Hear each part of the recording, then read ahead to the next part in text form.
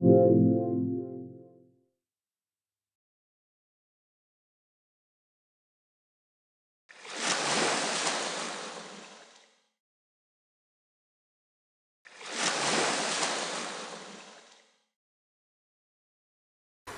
we de draad weer oppikken? What shall we do? Shall we pick up uh, the thread and um, where did uh, we uh, stay with Hank? We were in the human class um, of the cosmic school. and we are about in the fourth development round and we try to uh, struggle our way upward. This struggle is something that you may recognize in the present civilization. and uh, during that presentation of um, the last uh, period. And what do you think yourself. During this uh, presentation, we'll look, we'll look, dig into that. So first, we need to uh, build up a, a, picture of what a human civilization is and how its cycle occurs.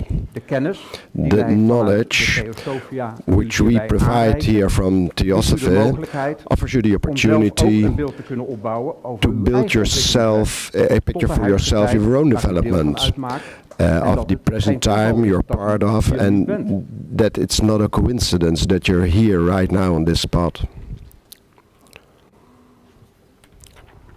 Dr. De Purucker, de naam is al eerder eh, gevallen, een van Dr. De Purucker, one of the leaders of the Theosophical Society in the last century, has learned us that to, uh, to get the real knowledge of a word, it's, it's, uh, it's a good thing to look into the word itself, how it's uh, constructed. In the word uh, civilization, but this goes only in Dutch, uh, the, you may recognize a process of uh, making some lex course, pushing it. Sometimes you say something about uh, people who are less developed that they are coarse or rough. There is a, a, an element of growth in the word um, in the word of um, and when we use the, the Latin word civilization, which is more or less a synonym, then we uh, may notice that it is about citizens, about uh, urban people, and it's about uh, groups of people. Al heel snel ontstaat een beeld van een leerklas van so a picture rise of a learning class of human souls who are up for a next evolutionary experience.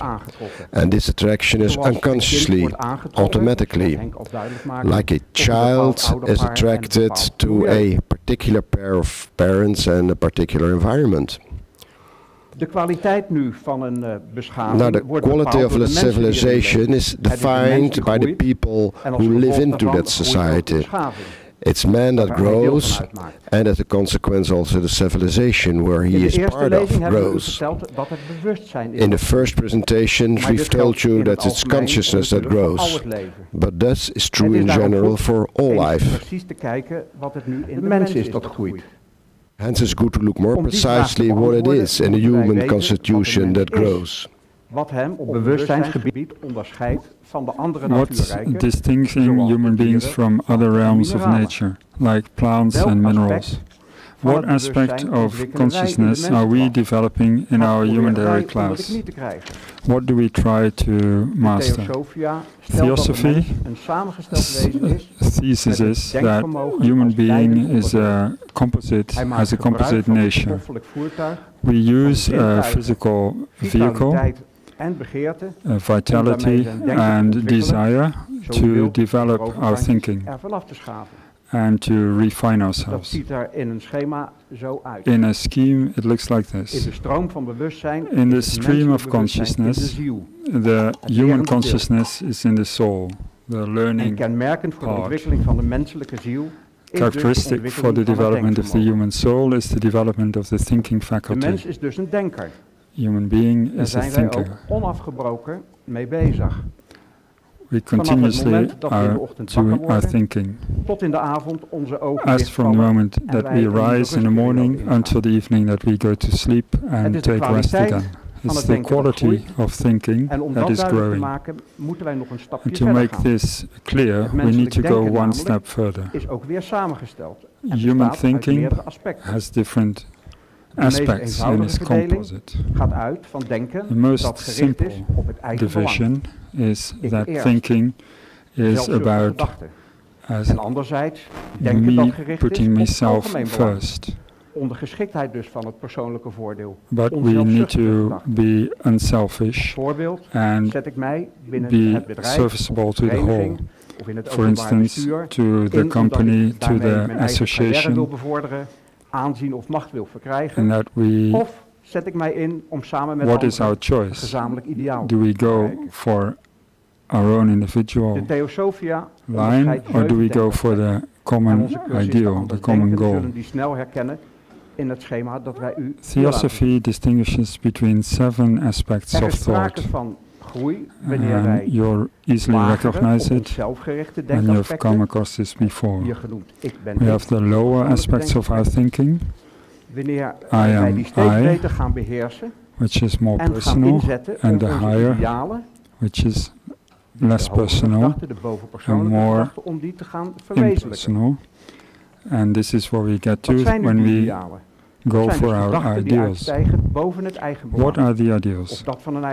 The ideals are larger than our own interest or the interest of our group. In this lies the power of a civilization. If a civilization loses this, the civilization will zullen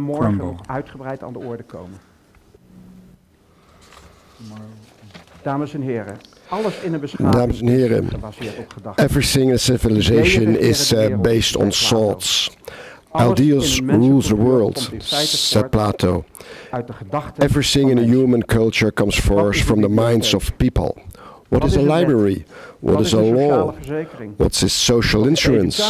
What is education in a country? These are all thoughts. A civilization is based on thoughts.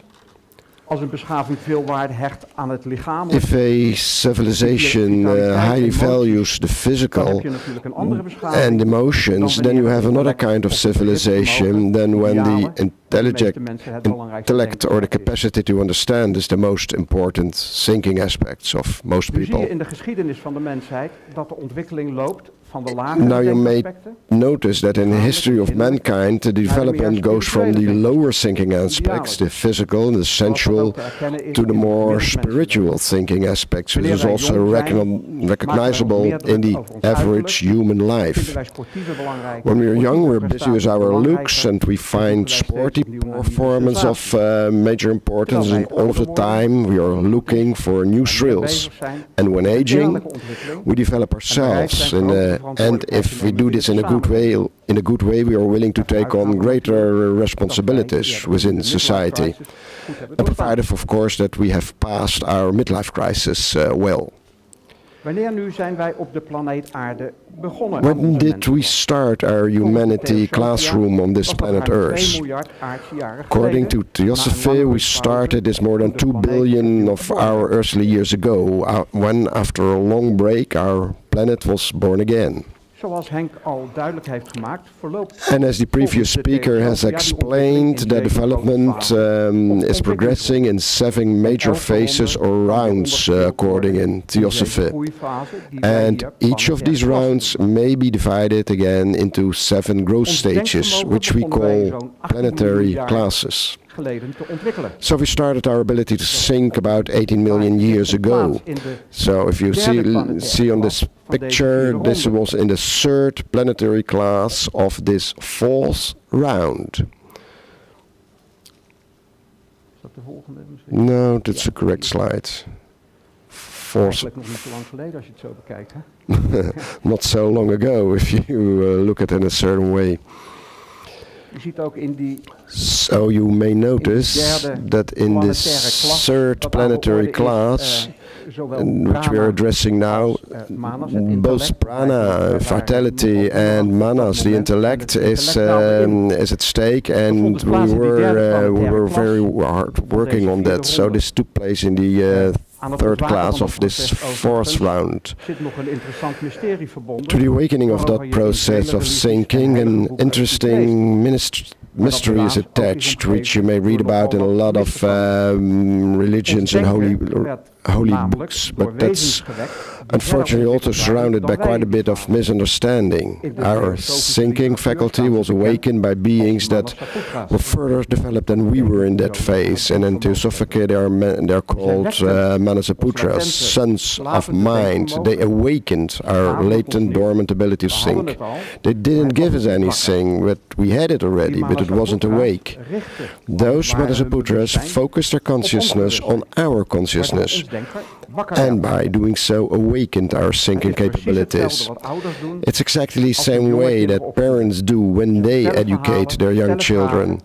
They tell stories, ask questions, answer questions. In short, they focus their consciousness to the consciousness of the child, which consciousness of the child thereby awakens. In the myth of Prometheus, who stole the fire from the gods and offered it to humanity, you you'll find this process back symbolically. The fire being, of course, the symbol of the flaming intellect. Before we go on, it is important that you understand that we talk about we, the actual man, including you and me. You are in essence an immortal being according to theosophy. You already have lived many lives. You were here right from the beginning. And um, just as we now shape the current civilization or culture together, we have done that before. The tendencies and habits we had during those previous learning phases are interwoven into our current consciousness, our character, and we carry this on through next incarnations and successive civilizations. In other words, based on the law of cause and effect, we will build in the present life further on what we have built up in previous lives. Let's look at several examples. And let us look whether or not we can recognize the characteristics in the process of growth of civilization. When we go back to Atlantis, maybe you think, oh, those guys of the Blavatsky house, they found a picture of Atlantis. That's not really the case. It's very much like it. This in reality is Dubai. It's not just a picture.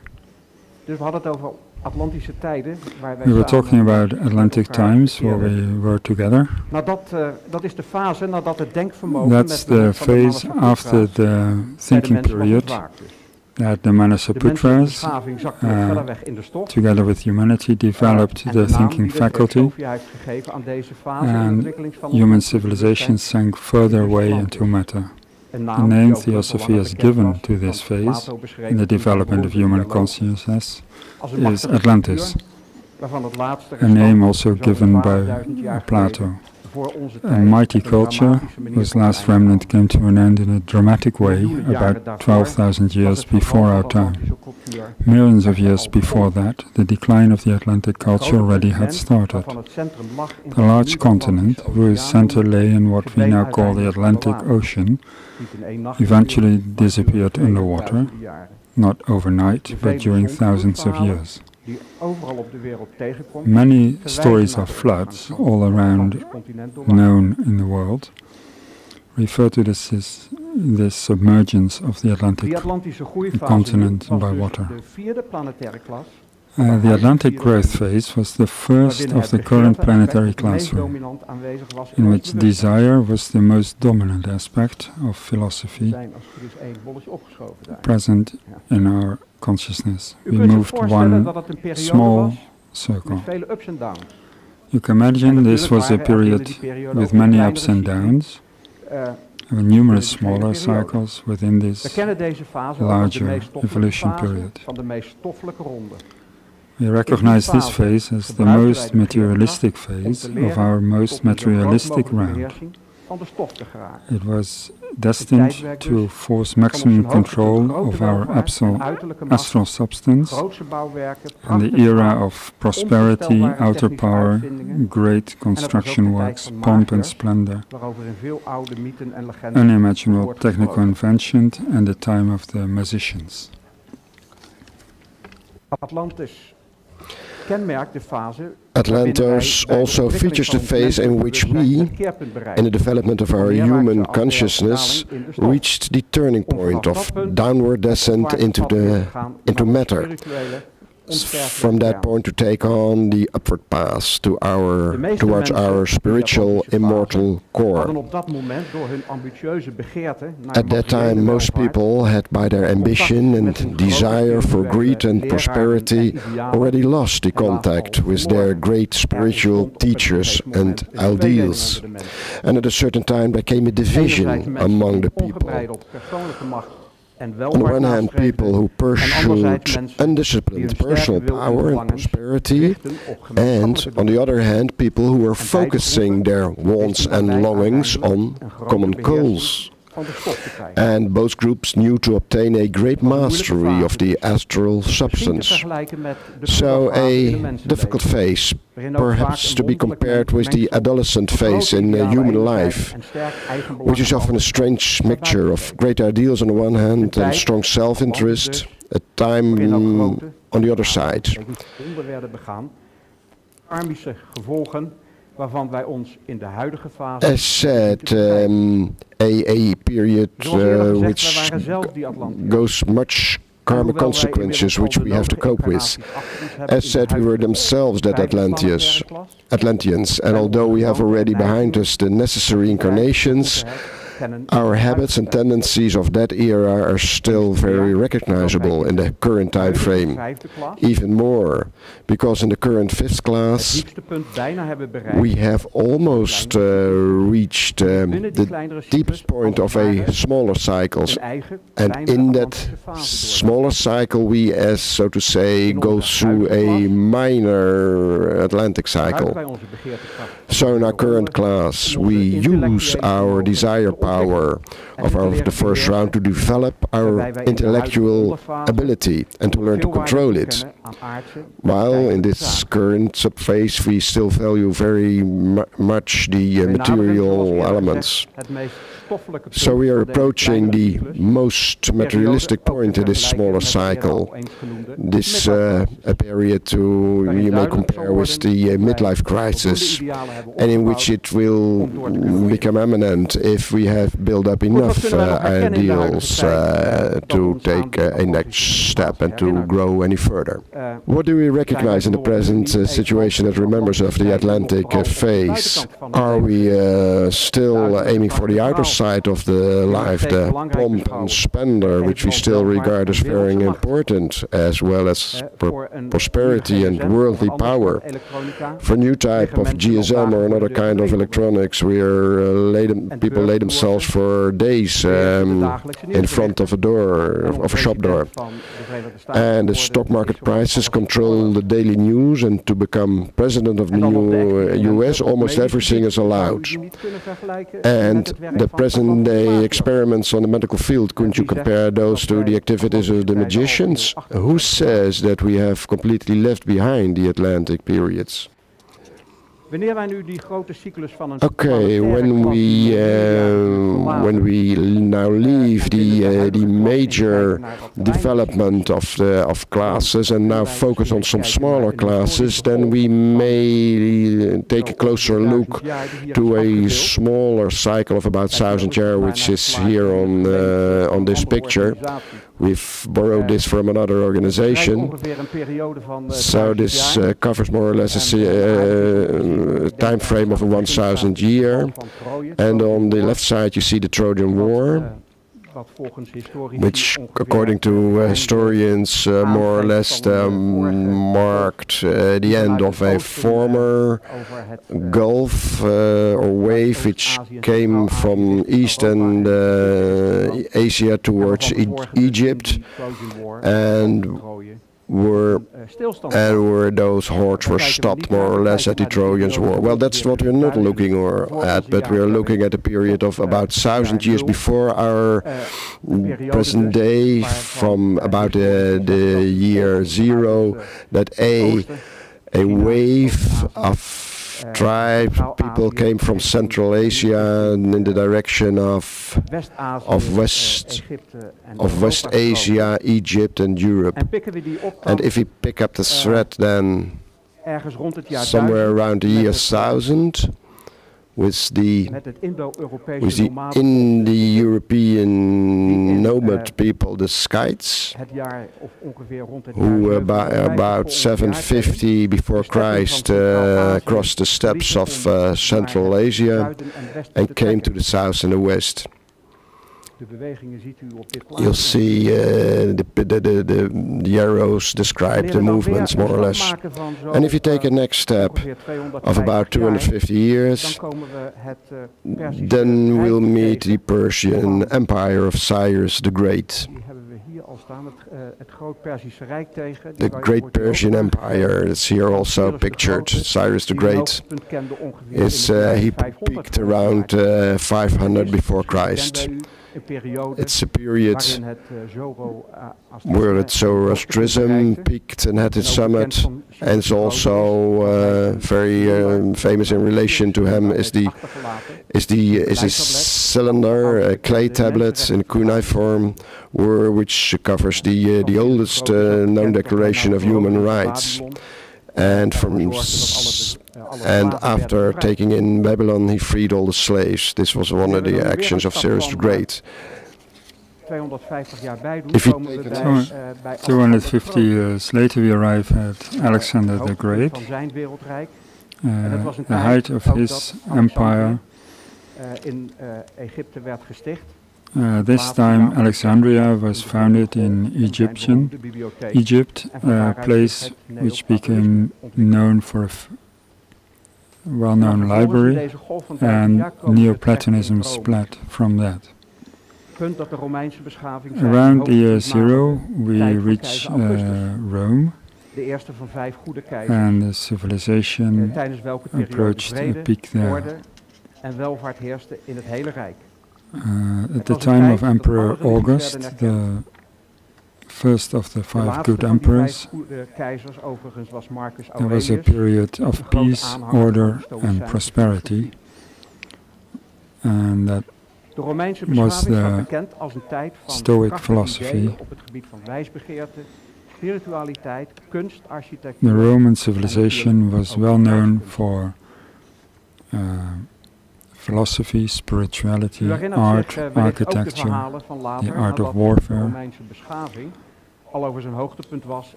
but also the idea of bread and circuses. As with all civilizations, at some time it slowly went over a peak and started to degenerate mentally and physically. As well with man and the solar system, each civilization is born and grows up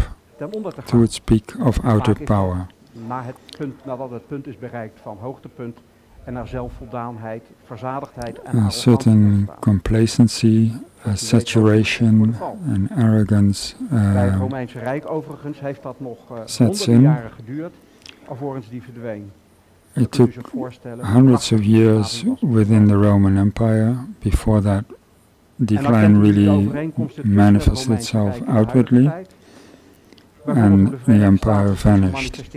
So you can see how powerful the civilization was. When we look at our present time, we can draw similarities and see, for instance, the United States of America manifest as a world power, having major world sporting events, all entertaining people, our infrastructure, water supply, sewage, roads, Romans had the same ideas about it as we have now.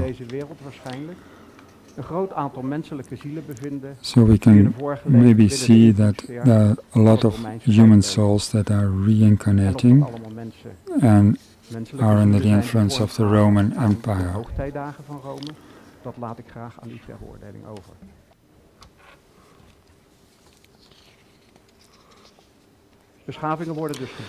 Civilizations are born, grow, and depending on the strengths of the idea they are based on, they disappear again after a shorter or longer period. To, to re-emerge again uh, elsewhere after a shorter or longer period. And keep in mind that we're talking about inner characteristics, mental attitude.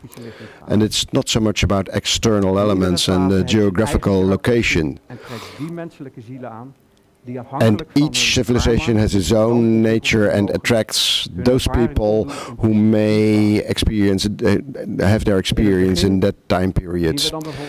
And for starters, you may notice a lot of uh, people who are equipped with a pioneer's uh, mentality and then the, the military and uh, artists. There's a quote uh, from John Adams, one of the founder fathers of the USA and the second president of that country, who characterized this development well.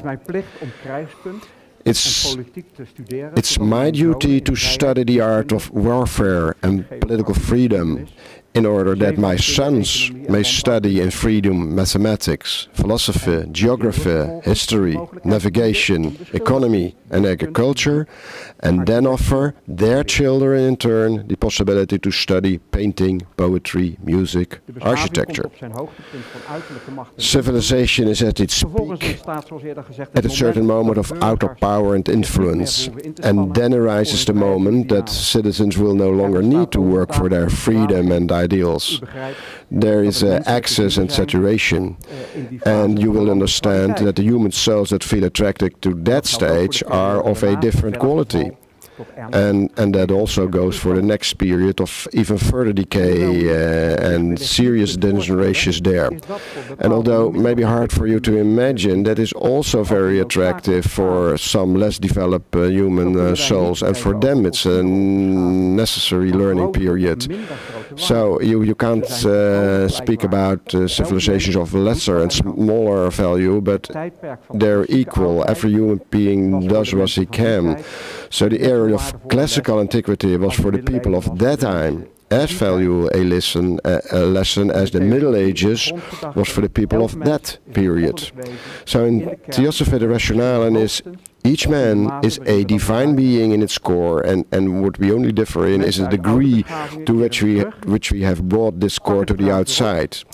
So people of ancient civilizations return, they pick up life thread again in another um, veil and another shape, and on the basis of the lessons they've learned, but on a somewhat higher level. And this goes also for you, this applies for you. You're in this life continuing where you left off in the last life, together with other people with whom you've previously lived and worked together. And also this time you'll get some chances to continue your growth, to pass on uh, uh, everything to the next uh, generation. What have we taught you? You are a thinker and you have chosen this time, this current civilization, to cooperate with others and continue our learning process. In fact, you have created those conditions in your previous lives with your own actions and your own thinking makes no sense to turn away from it or to reject them as a product of others. It is your civilization. No more and no less. You will have to do with it. And of course we prefer that you try to make the best of it. As well as all previous civilizations, the current time is a necessary stage or step on the path of our inner growth. Each capacity that we develop in such a phase gives us the opportunity to do more for the well-being of all. That is the path of compassion that all great teachers in each civilization have taught us about repeatedly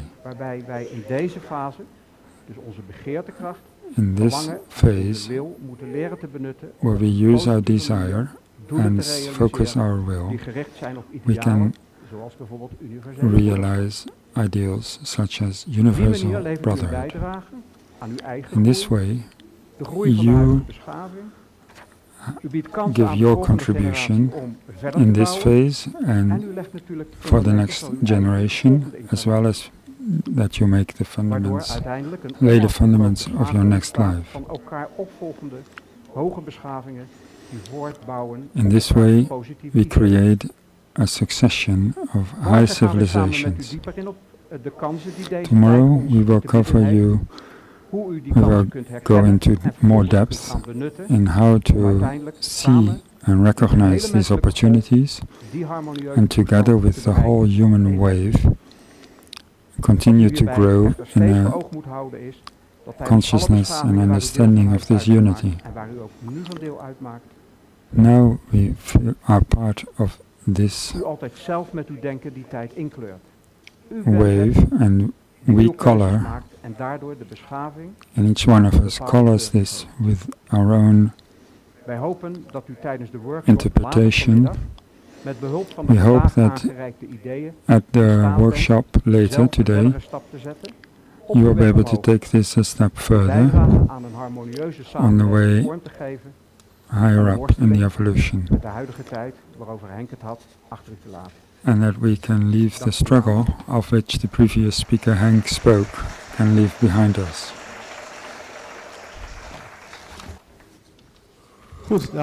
Okay, ladies and gentlemen, we have a couple of minutes for some questions. who, uh, who might have risen. I'm very uh, interested how you can define so very exactly where we are now in um, in the fourth circle, subcircle five. Okay, that's a very simple system for this. You just have to look uh, in yourself what is active in yourself. We here just um, deployed, uh, lay down the the uh, the different aspects, and it's a matter of self-analysis what you have to uh, do. And um, and um, from my side, this may uh, this may vary a little bit uh, during the different times of the day. Maybe uh, Jos had another has, another ideas. Yes, I think it's very it's a, a good idea to uh, to do some self search and look and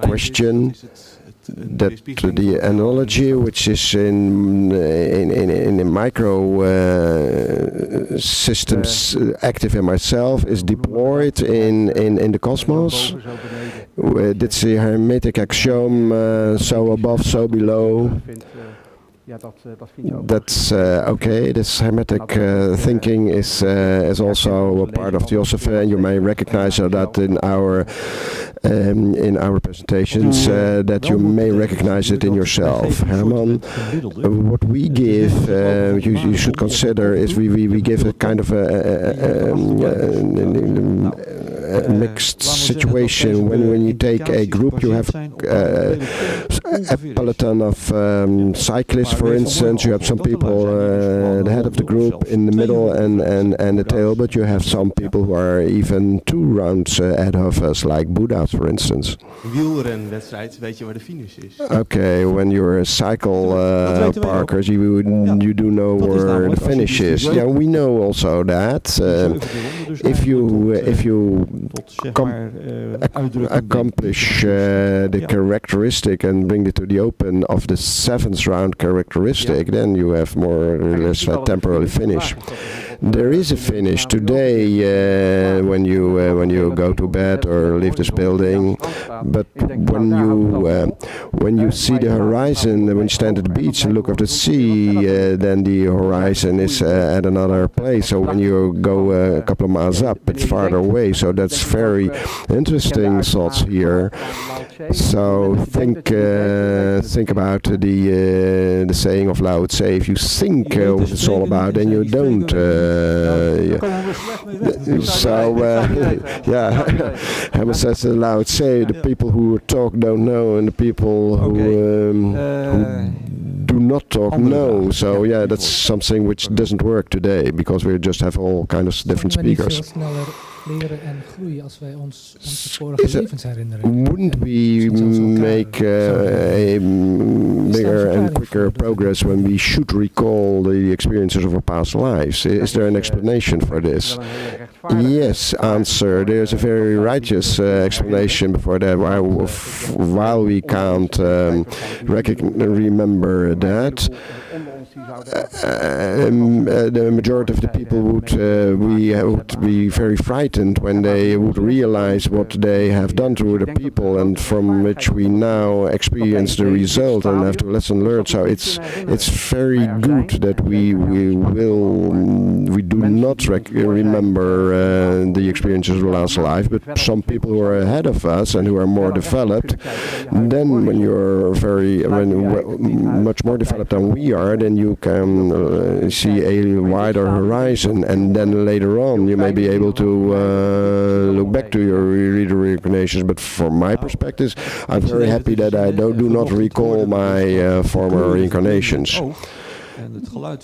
The colors are blinding the uh, eyes and sounds um, do bli blind and deafen uh, the air. So, so if you are, uh, so if you are, uh, so you should ask yourself, where do my characteristics uh, come from? From what uh, previous experiences? So I have a number of of characteristics who uh, who do attract in both in a positive and a negative way me to certain elements. So in a certain way, you could say you are the end product of a number of reincarnations, and so uh, this this this equals your former reincarnations equals what you're present at what you're now at present, and so this leads up to uh, the situation, to the building of yourself. And if you're not sure about uh, where you stand, just ask your partner. He'll know your weak spots probably. Jos, dankjewel. Gezien de tijd denk. Okay, Jos. Uh, given time, we are going now over to the physical. Um, de lunchperiode. Lunch period.